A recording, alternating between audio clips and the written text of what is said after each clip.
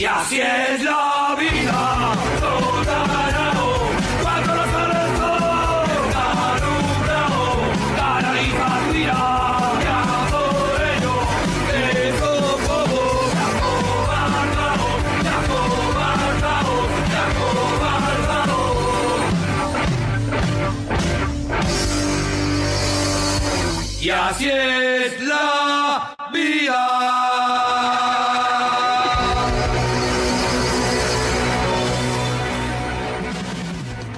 Buenos días, buenas tardes y buenas noches, según cuando nos escuchéis, que esto lo acuñó nuestra compañera Lola, eh, mi compañera de Onda Barricada.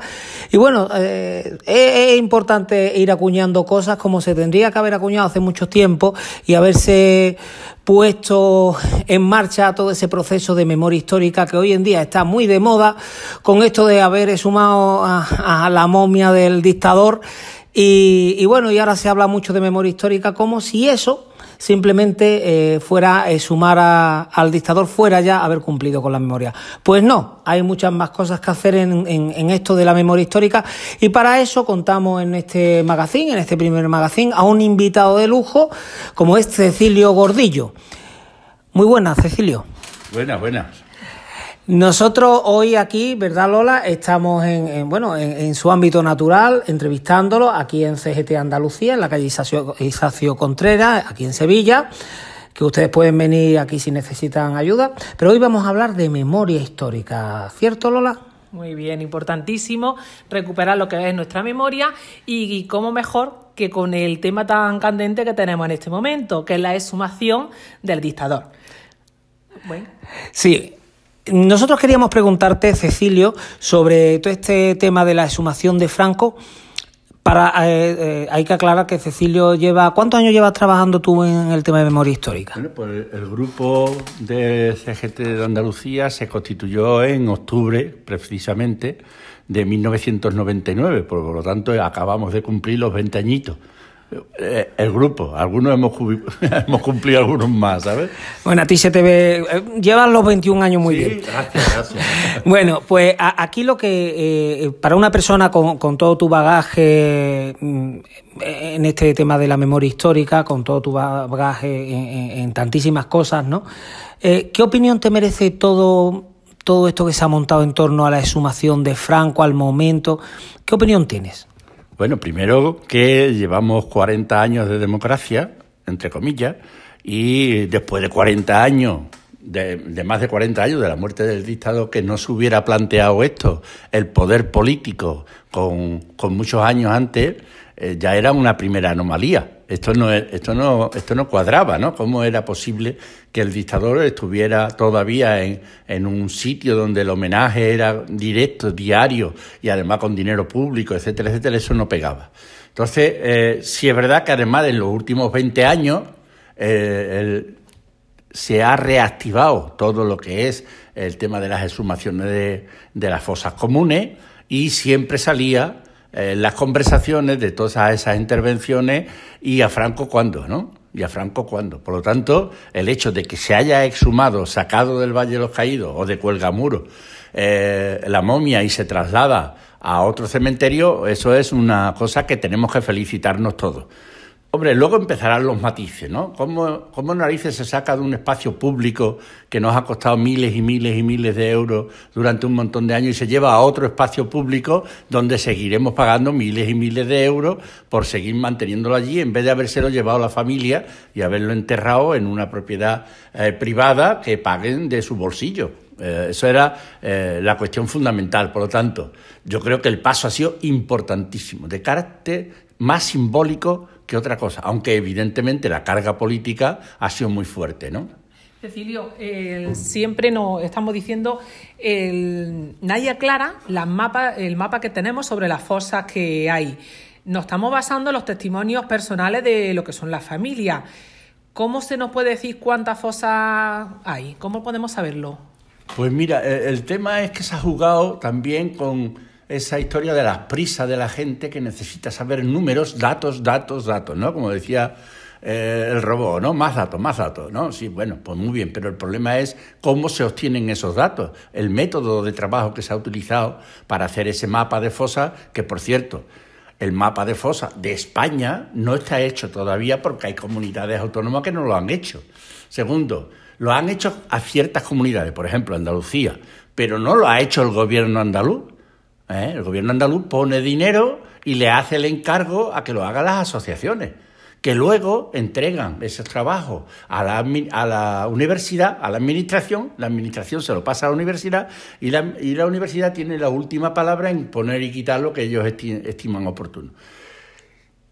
El actual mapa de fosas, que recoge 700 y pico de fosas en Andalucía, por lo tanto lo hacen testimonios personales en un 99%. O sea, no hay... Primero, porque las fosas no, sea, no existen documentos de la existencia de fosas. ¿eh? O sea, nadie va matando gente y apuntando en el blog, hemos matado a fulanito, menganito y citanito y están enterrados en tal sitio. No, eso no existe. y por lo tanto, si no existe eso, no existen otras muchas cosas. Las fosas comunes en un momento determinado que hay documentadas oficialmente son muchas o algunas de ellas de, los que matan a partir de mediados del 37, que es cuando se empieza a fusilar mediante consejos de guerra. Entonces sí hay una orden judicial de enterramiento en un sitio concreto, etcétera, etcétera. Pero todas las que se han hecho antes, que son la, eh, el número fundamental, aquí cuando más se mata, sobre todo en Andalucía Occidental, es entre el 18 de julio ¿eh? y, mm, y el 37. Pongámosle verano del 37, otoño del 37. Y esos son los que se aplica probando de guerra, que es los que no queda huella. Que esa es la idea. Porque además un detalle importantísimo, ¿no? Cuando hablamos de desaparecido, siempre hablamos de gente que no se sabe dónde está. Es verdad, los que están en la fosa no se saben dónde está. Por lo menos hasta que no se abre la fosa y se encuentran los restos, cosa que tampoco es normal. Yo acabo de llegar de Higuera de la Sierra, de Huelva, donde estábamos buscando en los últimos tres meses a 16 eh, mujeres. Se han sacado de las fosas, fosas en plural, 20, 20 personas. Todos ellos, o, el 99%, o sea, de los 20, 19 hombres y una mujer. Y ninguno de esos 20 cadáveres eh, se le atribuyen a las mujeres eh, de Zufre, sino a propios vecinos de Higuera de la, de Higuera de la Sierra, ¿no? O sea, es decir, por lo tanto, tenemos 16 mujeres que después de haberla buscado y haber levantado la mitad del cementerio no se han encontrado. Están desaparecidos los cuerpos, pero tampoco figuran como que estas mujeres estén en una fosa, simplemente no figuran en ningún sitio, están desaparecidas porque no constan en el registro civil su muerte es interesante esto de, que no consta en el registro civil, con lo cual parece como complicado que, se puedan encontrar. Pero vamos a poner un caso porque yo creo que a, nuestros y nuestras oyentes le interesará, ¿no? Habrá más de uno que a lo mejor pueda pensar, oye, y mi familia, y yo tengo a mi padre, a mi abuelo, a un tío abuelo, a un, yo qué sé. Y, sé dónde puede estar o no lo sé, no, no, no, no nos pongamos en eso, sino la facilidad que te puede dar la administración puede ser mucha o poca. Eh, ¿Qué, procedimiento habría que hacer? Porque todas las administraciones presumen de que están haciendo mil cosas, pero realmente, realmente, ¿qué procedimiento hay que, eh, te, hacen eh, hacer para, para poder conseguir sumar a alguien? Bueno, para sumar, lo primero que hay que hacer es solicitarlo. O sea, es decir, yo soy un vecino de dos hermanas, por ejemplo, y conozco una familia que tiene a un fusilado en dos hermanas, y lo que hay que hacer es un escrito muy normal de un folio. No hay que hacer una memoria, no, no, un folio diciendo fulanito de tal, con DNI tal, domiciliado en tal, eh, que a su tío, a su abuelo, a su primo o a quien sea, lo fusilaron, lo, mataron en tal día, que todas las informaciones verbales que se tienen eh, eh, lo sitúan su cuerpo en tal sitio y solicitamos a quién, al único. En Andalucía solamente se pueden pedir las exhumaciones a un organismo, a la Junta de Andalucía. Después de la ley del 2017 eh, eh, se logró, se logró alguno, que eh, todas las competencias en el tema de las fosas comunes fueran del ámbito andaluz.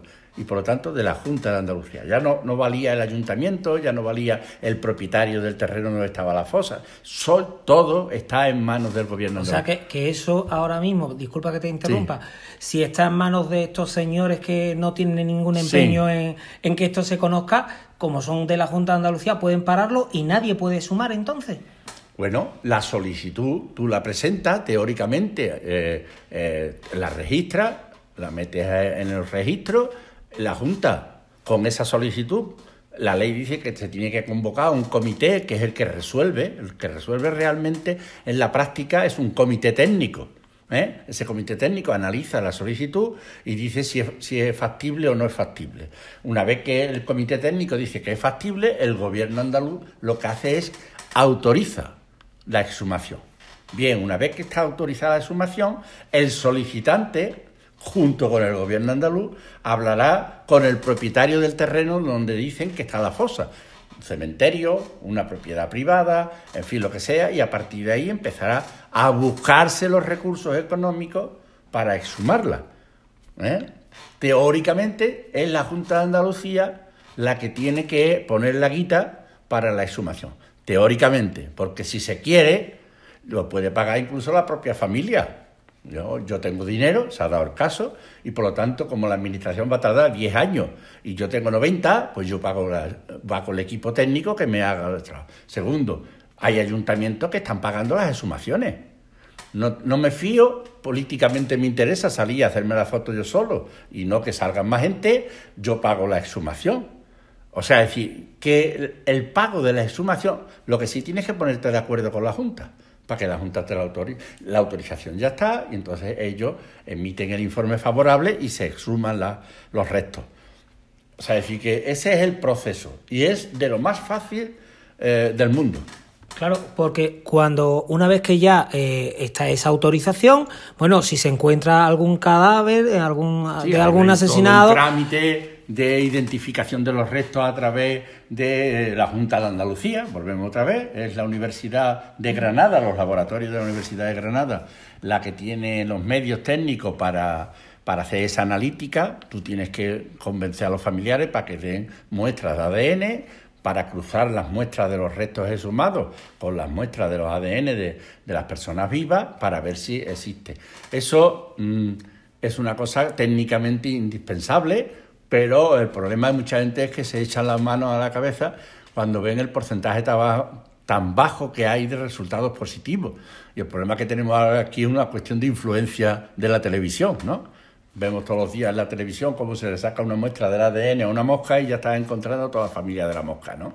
Pues no. O sea, es decir, el, el, el muestreo está saliendo entre un 15 y un 18% de muestras positivas. Y luego que tampoco no es tan fácil de que un juez te dé lo que es la autorización para hacer una muestra, ¿no? o se están dando. El juez ahí no, no ni siquiera tienes tú por No qué informar. Si quiere informar a la Junta, que es el que autoriza, y es al que tú tienes que estar informando, que lo haga la Junta. Tú no tienes necesidad de ir al juez. Si tú quieres, sí. O sea, decir, ¿por qué? Pues porque lo ideal sería, y se suele hacer, ¿eh? una, vez terminada, una vez terminada la exhumación, no antes, eh, tú eh, los técnicos que hacen esas exhumaciones te hacen un informe. Y ese informe tú puedes ir al juzgado y presentarlo en el registro para que el juez decida sobre lo que entienda que debe de decidir. Aquí tenemos los casos de eh, haberle llevado al juez para trasladar unos restos, que lo tiene que autorizar él, ¿me entiendes?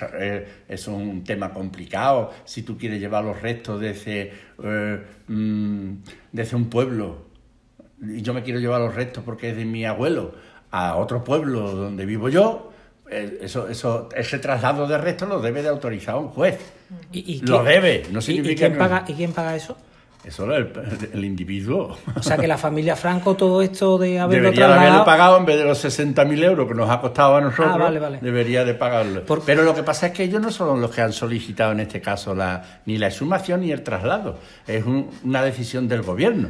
Ajá. ¿Eh? Pero ¿cuándo Hombre, ahí- pagar el gobierno.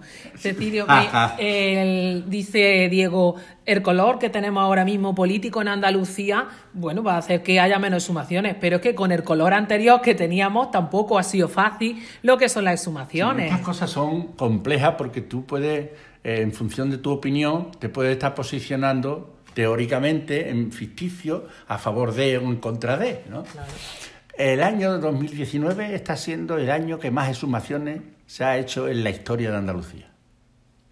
2019. Es verdad que el 2018 fue el año en que más exhumaciones se autorizaron que no realizaron. ¿Cuál es la diferencia? Autorizar a mí no me cuesta nada. Realizar sí me cuesta dinero. ¿Entiendes? O sea, es decir, que ahí que cada uno saque sus propias conclusiones. Yo puedo quedar muy bien autorizando, pero si luego no intervengo, pues chungo. Que cada uno analice, ¿no? Sí. Y nosotras como organización, ¿qué estamos haciendo las personas de CGT? Bueno, muy poco. Yo creo que podía hacer más. Eso no significa que ahora, en vez de hacer sindicalismo, no nos dediquemos a sacar fosas. Nosotros somos un sindicato y como tal sindicato lo que tenemos que tener es la cierta sensibilidad de estar al tanto de nuestros antecesores. O sea, es decir, que nosotros que nos encanta hablar de historia, aunque muchas veces no sepamos, pues nos gusta ponernos, en fin, de puta madre, ¿no? El problema surge cuando nosotros tenemos muchos compañeros fusilados, tirados por las cunetas, tirados en los cementerios, y muy pocas veces esta organización se ha planteado hacer algo en ese sentido. ¿eh? Simplemente, hacer algo en ese sentido pueden ser muchas cosas, desde apoyar eh, públicamente la exhumación hasta en un momento determinado, si es necesario, implicarse en una exhumación.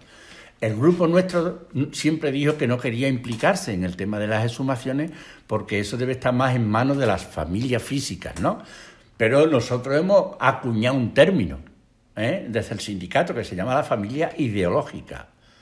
Y la familia ideológica es de aquellos cadáveres que sabemos que están tirados, que no tienen familia biológica, que lo pueden reclamar, y que sin embargo yo entiendo que deben re- reclamarlo aquellos que se definen como anarquistas o anarcosindicalistas o ácratas o el susum cordas, ¿no?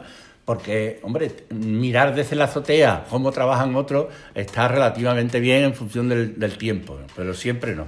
Una, una cosa que me, que me gusta a mí de este Onda Barricada es esta parte de autocrítica que se le hace al sindicato que- y me parece perfecto porque yo creo que es un llamamiento que nosotras mismas tenemos que, tenemos que hacernos y tenemos que, que- que reflexionar. Pues desde CGT, eh, eh, eh, el grupo que vosotros hacéis, el grupo de todos los nombres, ¿no?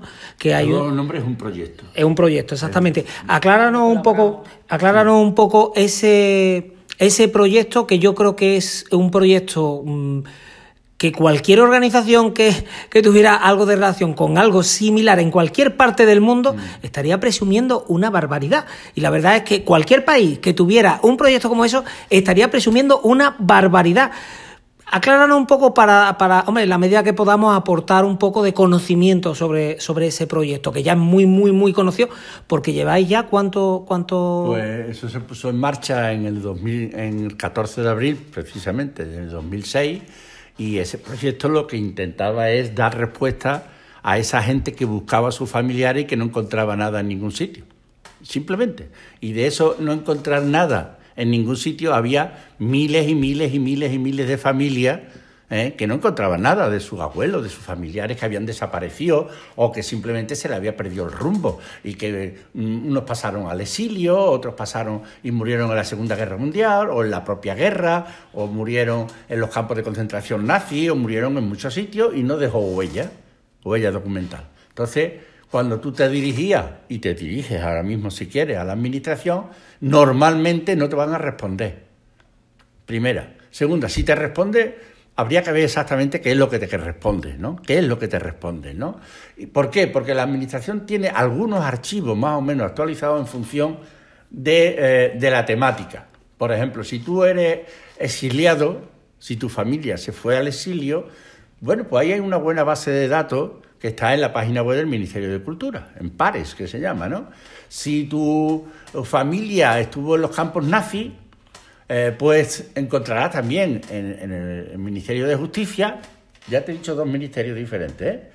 cultura por un lado, justicia por otro, encontrarás un listado que aunque no está completo, bueno, pues también está bien, ¿sabes? Pero, y sigue, y sigue. O sea, es decir, que en todas las variables de la, de la represalia o la represión sobre, el, sobre aquellos que estaban en contra del franquismo, eh, tiene muchísimas, muchísimas bases de datos diferentes. ¿Qué pasaba? Que no hay, el Estado nunca se ha preocupado de eso. ¿Entiendes? Si había estado en la cárcel, bueno, pues tú tenías que andarte en las cárceles para ver si encontrabas información en alguna de ellas. ¿Por qué? Porque la Dirección General de Instituciones Penitenciarias tenía algunos archivos pero no tenía los archivos de todas las prisiones, porque algunos no las habían trasladado todavía. Y ahí lo recopiláis, ¿no? Lo que estáis haciendo ahí, recopilando. Entonces, ¿qué hacemos nosotros? Nosotros lo que vamos, hemos, intentamos desde el principio es decir, si alguna familia tiene a alguien que quiere información, puede buscarlo. ¿Cómo? Muy sencillo. Responde usted quién era esa familia, nombre y apellido. ¿A quién busca? Buscas a esta persona.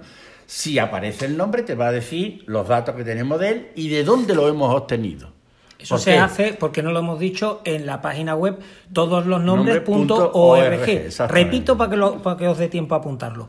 Todos los nombres.org. Ahí está el buscador, que es como estás diciendo. Exactamente. Entonces, eh, ¿qué, eh, ¿qué hacemos? Pues es verdad que en un principio andamos con dos o tres bases de datos muy básicas, pero hoy, al día de hoy, tenemos casi el 90% de las diferentes facetas represivas ya metidas en la base, ¿no? Nos quedarían, mira, pues nos quedarían, por ejemplo, tú que eres de Huelva, nos quedarían, por ejemplo, toda la base de datos de los homosexuales represaliados.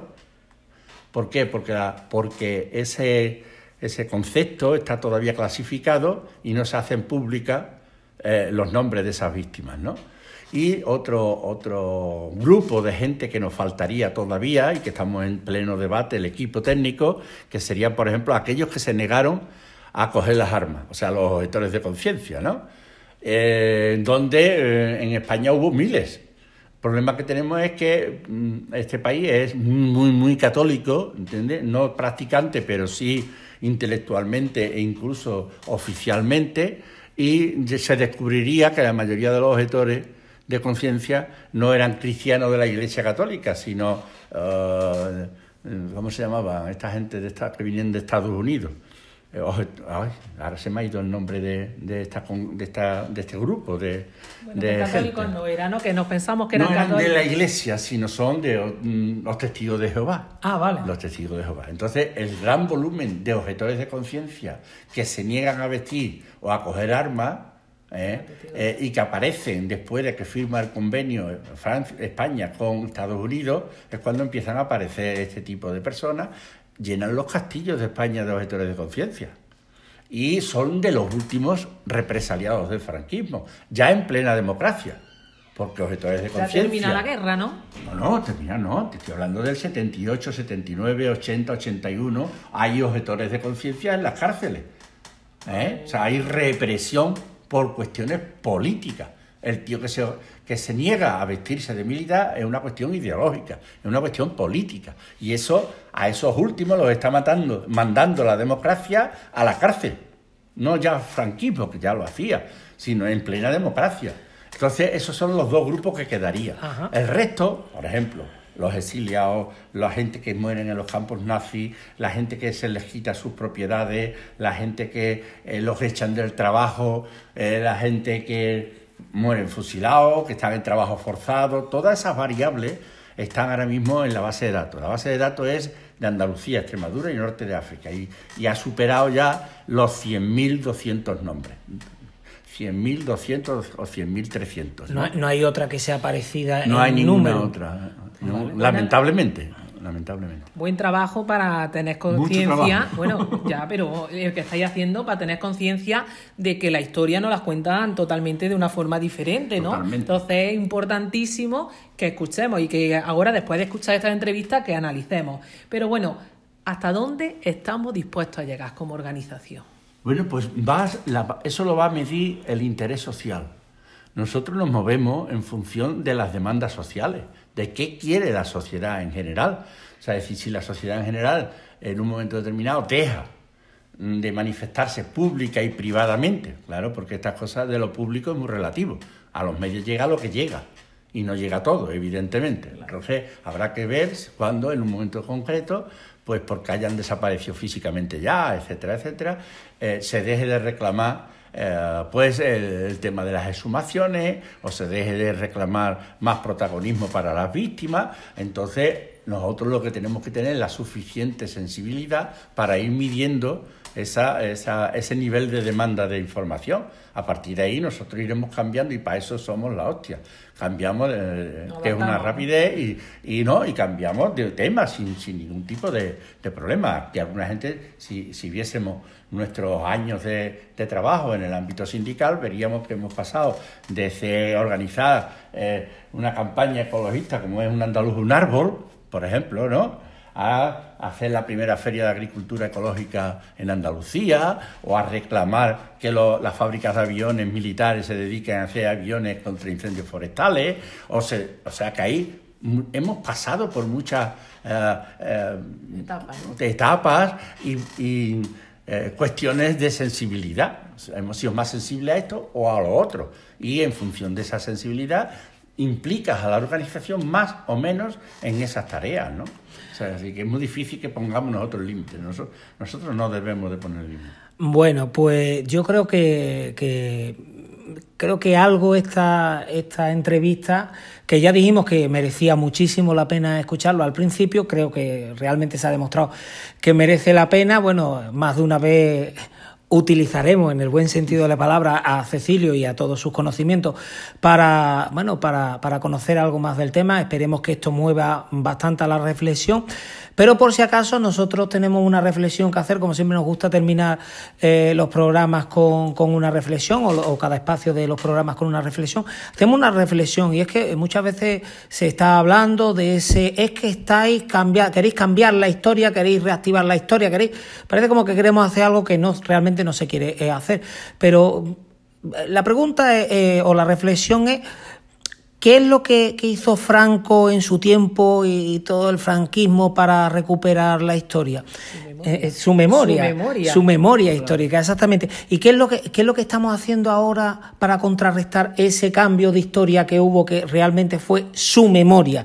¿Qué estamos haciendo para devolver la memoria donde tiene que estar? Nuestra memoria, que también existe, ¿no? Exactamente. Así que os dejamos con esa reflexión y os emplazamos a que sigáis escuchando este magazine y seguimos con el programa. Que tengamos toda la información y que seamos personas críticas. Efectivamente, pues muchísimas gracias, Cecilia. Encantado. Y así es la vida, cuando no